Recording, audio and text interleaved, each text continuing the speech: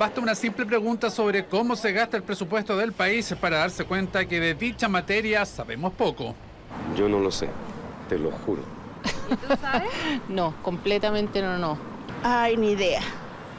Desconocimiento que no significa falta de interés en el tema, una asignación de recursos transparente que permita conocer en qué gasta el Estado lo que recauda y cómo estos ingresos llegan a la población, suma preferencias. Encantaría, pero bien claro. No, no, no, no con triquiñuela ni enredos, nada. Que sea una, una respuesta bien clara que se entienda para todos los chilenos, no algunos.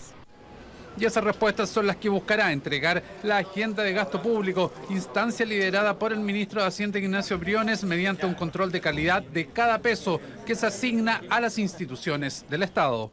Momentos en que eh, muchos decimos que Chile cambió en distintas áreas, creo que es la- la- el momento propicio para que también cambiemos la forma en que hacemos el presupuesto, que miramos el presupuesto y que evaluamos, insisto, la calidad de nuestro gasto público. Las distintas autoridades tienen que enfrentar o estar dispuestos a eh, modificar eh, los esquemas, ¿no es cierto?, para dar respuesta de la mejor manera a los ciudadanos. Desde el Ministerio de Hacienda aseguran que en Chile la discusión presupuestaria cayó en una inercia, donde el gran parámetro para medir el aumento del gasto es el desempeño de la economía y que los recursos son entregados sin evaluar su real impacto.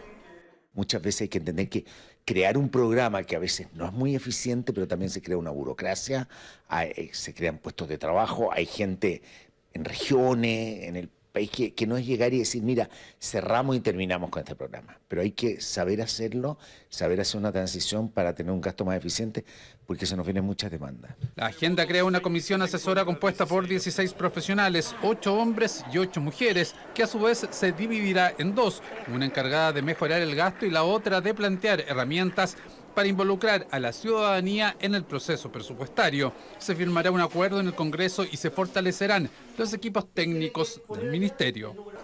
Lo importante sí es que exista un cierto grado de acuerdo y compromiso por parte tanto del gobierno como del Parlamento de que se van a seguir esas recomendaciones.